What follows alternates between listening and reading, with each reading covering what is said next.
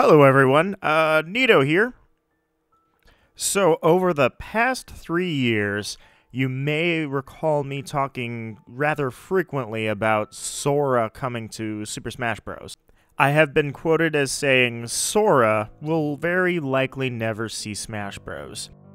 My logic behind it was this idea that Square Enix is enthusiastic to work with Nintendo and has been quoted multiple times as saying that they wanted to give new characters to Smash Bros.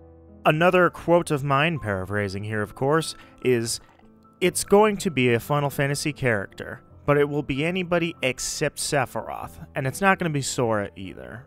Of course, after Sephiroth was revealed, I was exposed as being extremely wrong. Now, here's the thing. I was quoted after that as saying, Sora will probably not be involved in Smash, even if Sephiroth, even if I was wrong about Sephiroth. This is different because of Disney. See, Sora's licensing doesn't just come from Square Enix, it also involves Disney.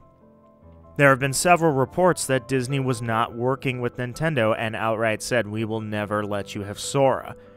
Now, of course, I spewed uh, garbage in saying that this was true, that I believed it, because my logic was Disney is a big, bad, angry corporation with spaghetti hanging out of its hair and five arms.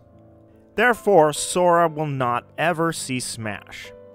So, I'm here today to answer why I was wrong about that. Here's the honest truth. Whenever I go to stream Smash Bros., my routine involves putting two very large, extremely oversized red shoes on my feet, slapping makeup all over my face, putting little teardrops underneath my eyes in makeup, and putting a wig on and a big red clown nose.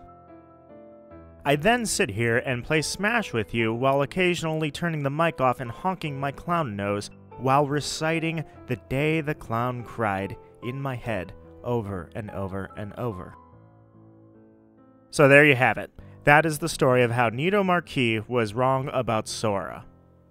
Guys, it's a good day to be a Smash fan, and I am so happy to have grown up with Smash in my life.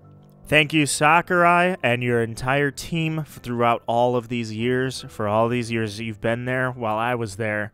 Smash has been with me since I was a kid, since I was a teenager, since I was an adult. And I cannot believe that we're ending off on Sora. What an amazing time to be a Smash fan.